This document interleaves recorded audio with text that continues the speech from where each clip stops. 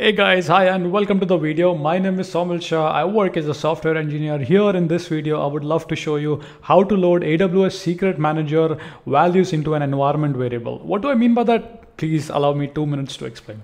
Well, essentially, if you are using any sort of secret credential, you know, in companies, we often uh, essentially say dev.env, prod.env, we have those env files and we store everything in an env file. Well, I do not like that uh, idea, essentially storing everything in env file. Rather, it's more convenient you store things in AWS Secret Manager much more secure, manages encryptions and, and other things. So let's try to write a simple class that does the job, essentially reads the data from AWS Secret Manager. And once it's done reading, it basically updates all the value in the environment variable so you can use it. So let's get started with the coding. All right, so quickly pulling up my snippets out there. All right, so uh, in order to implement uh, this, uh, let's get started. Uh, hopefully we are rolling. All right. Uh, I'll show you, of course, I'll try to create some secret manager on AWS as well, but let's start, man.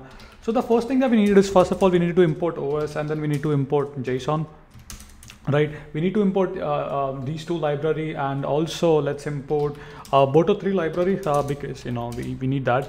And if, if, if any of these library are not there, uh, let's uh, essentially raise our own custom exception saying that some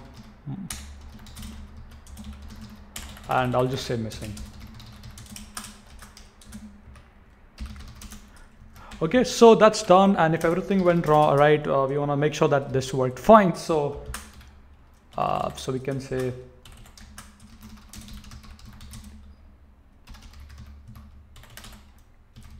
loaded. It's good, good, good.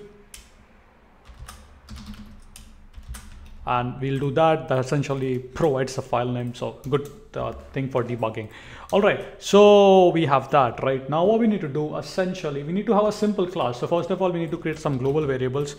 This right this one would store the access key the secret and the region name. So i've defined this as a global variable. Now essentially we just need to write some classes man. Very easy.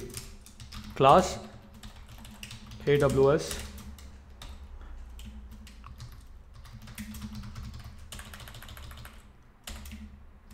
Uh, let's try to follow some conventions instead just use, let's follow camel casing. M should be capital.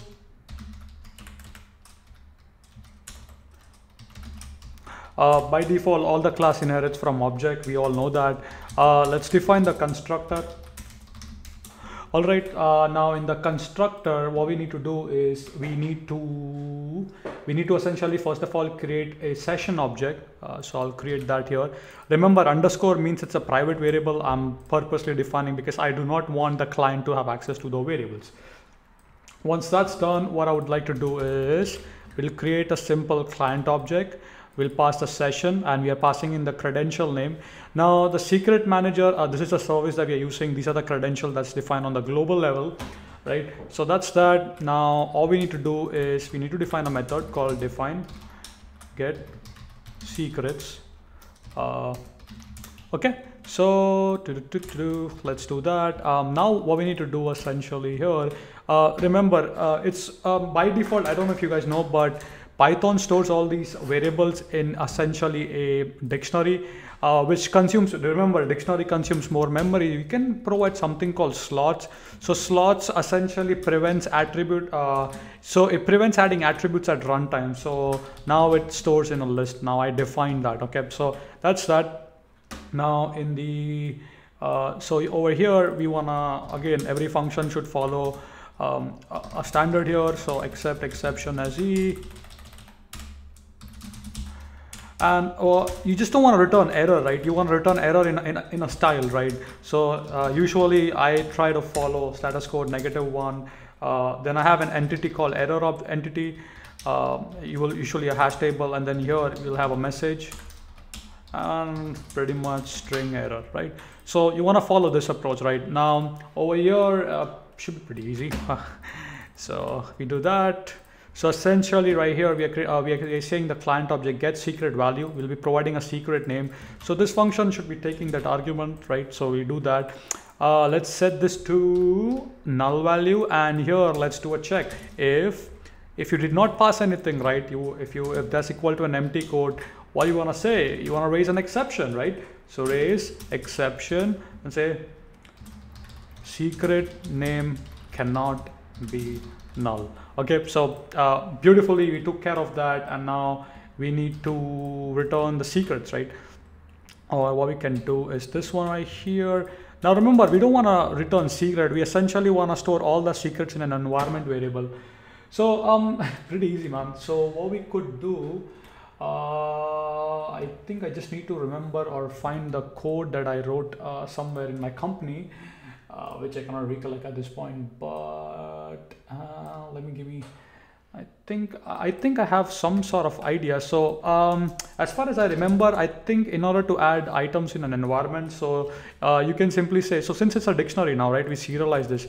So we can say key comma value in uh, secrets dot oops i think it has to be secrets secrets dot items items is essentially uh, a way to iterate over a key and a value. And i think as far as i remember i think it's the environ and then you provide the key and then you provide the value.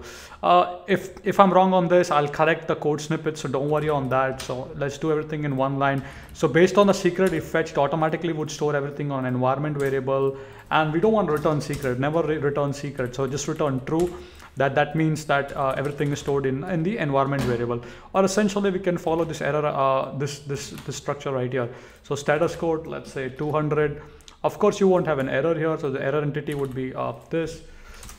Data entity uh, would be essentially we'll have uh, message and let's set this to true. Okay. Oh wait. Why is my t oh, i'm actually using python not javascript okay perfect. So that's pretty much it man. Uh, so let's put this let's uh, format this a little bit here. Perfect looks good. All right so now in your code essential if you want to use this uh, you can simply say something like this. So call the class AWS secret manager and then when you say get secret, it's going to return a true or false and you provide the secret name. Provide your access key, your secret key here and essentially your secret name.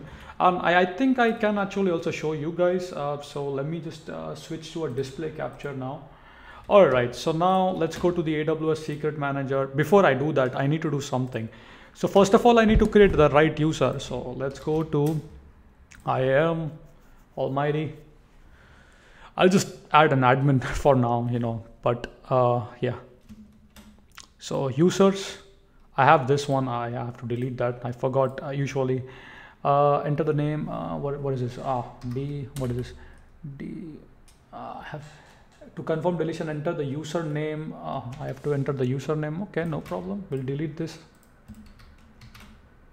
okay so now we need to create an IAM user for uh, the, our secret stuff that we are learning, right? So let's call this test. I'm gonna delete it after the video. So don't worry on that. Next permissions, I'm gonna attach an admin policy here. Uh, review, review, review. Uh, there you go. Access key. Put that in the code to you know try this out. Uh, copy the secret key which should be here. Now let's head over here. Secret manager uh, we like to store some value. So what do i say? Uh, what is this credential for? Where is the text one? Uh, RDS document credential for Redshift credentials for database other types of secrets yep. So let's say name. These and my secret value is some secret. Whatever you want to add right? Keep adding stuff whatever you want to add.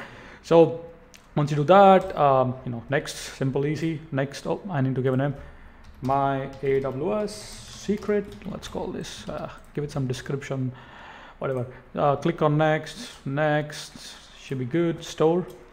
Um, so now we have a secret, right? So now we come to the code and just to, just to show you, I'll also try to, uh, let's uh, not, let's not do that because I don't want to reveal all other my secrets. os.getEnv and let's try to get the variable name call. remember we have a name inside that right so uh, okay so uh, print let's say os.getEnv is a function let's try to get the name let's see if this work right so uh, if things worked fine this should essentially populate the name in my environment variable So with that being said, let's try to run this code and see if it works. I, I hope so. I'm assuming so. All right, let's see. Um, I should see the value here because I'm getting the environment variable. Remember, it's on the secret manager. When you load from secret manager, we um, it's taking a quite a long time. It shouldn't take that long. Am I running the right script? Not sure. Let's see. Let's try to find out. Uh, I think so. I mean, why is this taking a long time? This shouldn't be taking that long. All right, let's see what's going on. I think my computer is a bit slow here and just that's the reason I'm saying okay is to make sure that the script is running actually. Uh, let's see start. Oh, now it worked. Um, some there you go. Uh, it just took a while. My computer is a bit slow but yeah. Yeah you see the value right? So essentially that, that's how you can use aws secret manager to, to, to store essentially secrets and then load all the secrets to an environment variable. So this class should take care of that. And with that being said thank you so much for watching.